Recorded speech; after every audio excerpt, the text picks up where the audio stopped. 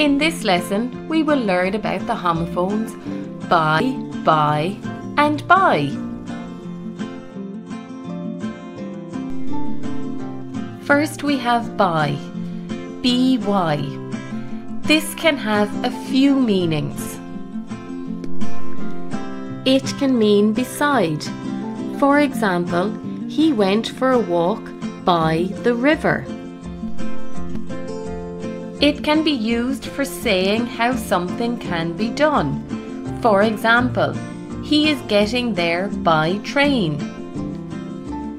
Or it can be used to identify the person doing the action. For example, the photo was taken by my brother. Next we have buy. B-U-Y. This means to purchase something. For example, he will buy a ticket for the concert. And last we have bye. B-Y-E.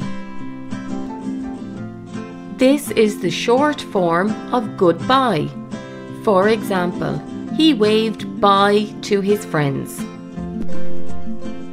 Thanks for listening and bye for now.